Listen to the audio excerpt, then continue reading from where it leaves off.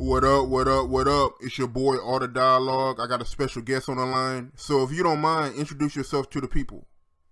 Oh yeah, this JT the Bigga Figga, man, the one and only San Francisco Fillmo representative, man, the legend. You know, it ain't a theory, it ain't a mystery, it's actual facts. But down south they call me Fig Panamera. Yeah, I'm another person, you know, I've created another uh, alter ego, you know, for the generation of uh, listeners in the music world. And then I bring the boy Locks, you know, that's my actor. Signed him also, that's me.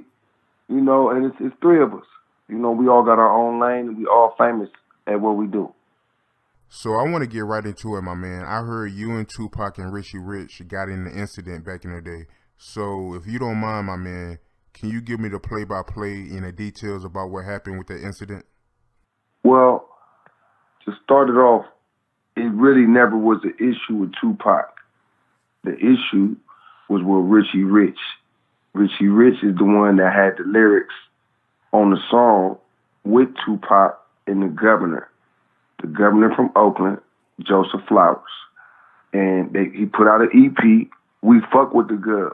He was good people. He's still good people. This song, it had Tupac and Richie Rich. Okay. So um, this is after uh, the movie Juice and Pac was famous. But on this song, Richie Rich had a line that said, uh, I got some broke ass Fillmo niggas trying to jack me for my gold tones. His grandma lived on Central Street in Fillmo. That's up the way. I'm from down the way. But when he said, I got some broke ass Fillmo niggas trying to jack me for my gold tones, that line was really, it was, it was to all of us.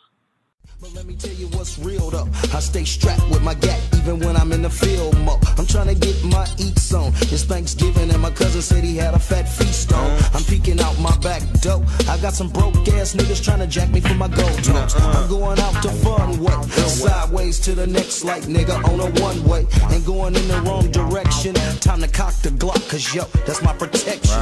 But it wasn't even that deep. I got ghost on the marks and the Frisco PD. Five niggas in the LTD trying to jack. I never got like that. So uh, we heard it. We knew of the song. And then somehow, some way, they booked on the same show that we booked at in San Francisco uh, on Broadway. At the show, um, there was a number of artists that was scheduled to perform, but nobody really got to perform once they got on stage because the fight broke out. Um, Tupac didn't know nothing of it. Um, and if he did, you know, it wasn't no thing that they was like anticipating to have nobody Fillmo actually coming to a show looking for them specifically, you know, because of the song. So, uh, and to be on, you know, for the record, Richie Rich wasn't lying about, you know, getting chased through Fillmo for his gold tones, for his, hundred spoke Dayton's, because he absolutely had the cars that'll make anybody in any hood want to get access to you. If you live in our hood and you driving around in this car right here, uh, every chance you know that's presented, somebody's going to try to get that car. But he was pretty fast, he was pretty quick, and he never was captured. Okay, but the song, you know, it just happened to come out at the time when JT, you know, I'm I'm pursuing my career now, so I'm going to concerts, and also representing Fillmo. Anybody say something about us, I got to be saying something about them or doing something about it. But it wasn't just my voice; it was a lot of angry Fillmo guys in the building that day, and uh, it wasn't just based on something I wanted to do. I just knew it had to be done, and I was with it. And Tupac just happened to be part of their crew, and um, shit, man, they outnumbered. What they gonna do, you know? But Tupac, uh, knowing crowd control, and Tupac grabbing that mic stand, he put it to work for himself for a few minutes. It was, it was, it was a lot of heart, and he was good with it. You know, a few homies took a few lumps with the, you know, trying to climb on the stage. He was quick to grab that motherfucker and threw the mic down, grabbed the mic stand, and whacked a couple guys. But like once people started to get on stage, he couldn't whack nobody no more. And the stand was taken. And they just took a few bruises, you know. It wasn't too much blood and nothing. But it was definitely, you know, some stomping going on, some kicking. And uh, they got up out of there. We got Tupac necklace, we got the watch, got the ring. And uh, it's people that didn't been shot over that jury because in Fillmore, once it came to Fillmore, it was people that wanted those trophies. And I ain't gonna say no names, but you know, it's some guys that just held on to it. they was able to hold off the enemies for Tupac jury. But that definitely, you know, he wasn't no punk. The Gov wasn't no punk. And Richie Rich, you know, he just had to take what he had coming. Uh, but he wasn't no punk. He and nobody had a choice. Um, nobody ran and left. Nobody. They all took their bruises, took their punches and shit. But that story is just an authentic story. It wasn't like we hated Tupac. It was that he just happened to be there, and he had more shit on than anybody else. So he definitely was a target. You know, uh, for guys in a fight. Of course, the jury is something that you look forward to uh, getting your hands on. Anybody in any city, in any condition, if fight break out with jury on, the other party wants it, even if they're losing. So Tupac stood his ground and he tried to fight back, even though he was outnumbered. Yeah, Tupac didn't run. He didn't run because he got him some good licks in. He was feeling good. It's just that his his team didn't back him up enough as he swung the, the mic stand. You know, the other guy got the mic stand too too quick from him, whoever the other person was on stage. So it was two mics stands. But Pac, he was able to get some lumps in, but nobody really backed him up as far as keeping more guys from getting on the stage. That was the only defense. That was a for sure defense because people was grabbing people's legs. So some of the guys that was in their crew legs was grabbed. They couldn't really fight. They just got pulled in the crowd. And then there's number punching going on right then and there. You know? Um, but you know, it was all about escaping. They they they just wanted to get out in one piece. That's what I would want to do too. Just get up out of there. Ain't no use of you know trying to take a beating for stripes. He got some in. We got the jury.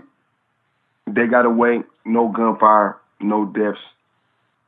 And the story just goes on. It's just a, a legendary story that people didn't know but it was, you know, verified through many ways. I've told the same story over and over. The, the beef wasn't with Tupac.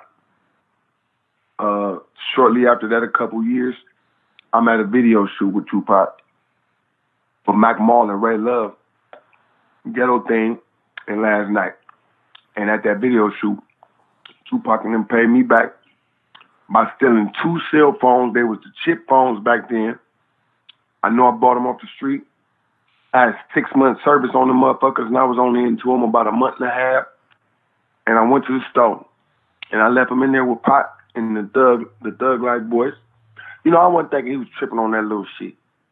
When I came back and my phones was gone, I knew them niggas was tripping over that shit. I'm like, man, this nigga, you know. And then Pac dropped a couple lugs on me about positioning of artists in the video. He told Ray Luv, hey man, this your video, get in front. But JT had sold that little spot up. and he was the director, so of course, you know, my sins is to a minimum.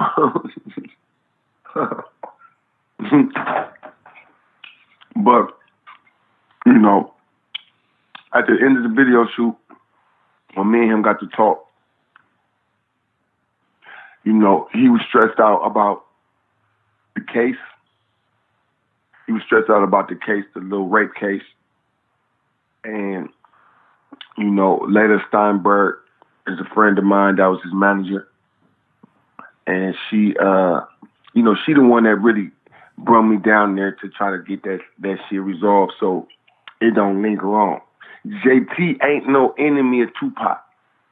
I never have been. It's just that a situation fucking happened, and he had to stay with who he was with, and I had to ride who I was with. There's no way around it. It just happened like that. you can't switch sides in the middle of the war. And you can't get no pass to nobody who absolutely with the enemy. And at that day and moment, Richie Rich was the enemy. He's not the enemy anymore. But I don't think Richie Rich liked me. You know, he never accepted doing no song with me when I used to try to. You know, uh, I tried to spin with him a number of times. He just would never do it. he never gave no reason, but I knew what it was for because we jumped him in the gov and then at that at that uh at that event. And then the gov got me back in Oakland one day. Him, pretty black. We was at uh nine ninety twenty nine studios on San Pablo. And uh, we had got into it about the game and something happened with the game in Yukmouth and uh, him and Pretty Black came to the studio, and he was mad I didn't hold the game there for him longer. so he stole on me, and we started fighting in the truck. Yo, me and the Gov got into it, but he got a good one in first. Pop. I said, oh, this nigga just stole on me in the motherfucking truck. Hell nah. All this shit stemming back from from the goddamn Tupac shit. So Richie Rich got me back. Pac got me back, Aaron Gov got me back. All three of them motherfuckers got me back. But I was part of getting them first. So I guess I got the trophy first. Tupac lost his jewelry, and JT lost the cell phones. Motherfucker. That's some real boy. I paid six hundred for them phones. I was mad. It was one of them thug life niggas did it, or Pac did it itself. I don't know which one. I thought the beef was over. It wasn't over. I came back in my shit and I'm asking niggas just keep smiling and shit. And I'm like, bro, where my phone's at? And nigga Pac just walked in the back of the room. He ain't say nothing. Oh, this nigga Pac, man. Them niggas got me outnumbered. I hope they don't jump me out here right now. JT jumped and beat up by Tupac and Thug Life. God damn it. Now JT chalked them phones up and act like them phones didn't even matter. Yeah, I couldn't make a call until I seen Mac Mall and Ray Luv had to borrow their phone. Yeah, but uh, you know, that's how I go, man. You know, you do something to somebody, they do it back to you. And then if you get a chance to do it to them, you get their ass back again too. but uh nah, that's far as it went. That's that's that's that's the whole story, the whole truth, nothing but the truth. I don't think I left nothing out. No, I didn't. Do you remember how the chain, ring, and watch looked that y'all took from Tupac? Yeah, it was a diamond ring. The, the ring was the shape of a diamond. There was a bunch of diamonds on the inside. That picture is somewhere right now of Pac performing that night. Uh, I think my man got the picture of Pac on stage, and then we got the picture of him not having the ring. Old camera taking ass nigga. Niggas was working. Uh, what's the what's that? What's that camera called? You take a picture. The uh, Polaroid, man, goddamn Polaroid, nigga. Imagine the street nigga who brung a Polaroid with him. That's fat rat for you right there. A nigga with a Polaroid. what about the chain and watch? The chain, it looked like a uh what is that? I'm gonna tell you. It's the chain that looked like the Rolex links. Like the like the bracelet of a Rolex with them little them little lumps, them bars. What they call it, a herringbone? Something like a herringbone, but it had links. Hmm. Yeah, it, and at the bottom of it, it came down into like pyramid shape, like two pyramids at the bottom connected. You know what I mean, and then connected into the chain. So the two pyramid pieces he's like facing opposite directions. Yeah, and that ring. I don't remember what kind of watch or bracelet, but it was all three. You know, nigga ain't coming with just no ring on. But he left with none of that stuff though. That's part for sure. He never tried to get it back. He never called. It never messages never came. Cause that was Fillmo beef that was going on. Fillmo was beefing with everybody at that time. Niggas from Oakland was selling niggas Fillmo niggas cars and then come steal that bitch back. fresh cars too. Niggas was getting out the fucking car and then getting right, go right back in the projects and steal them bitches back. Extra keys. Niggas was going to Oakland buying them cars, then niggas start shooting shit out, and then niggas coming back shooting back up. oh man. Niggas jumped Too Short and then it turned into some more shit over Rappin' 4-Tay, but that's another story though. That's a whole that's a whole another story. but one thing for sure, uh, our tradition is fall out with whoever. And we have a long list of rappers that we had to do some do something to. Not over because they was bad people. It was just Fillmo jealousy.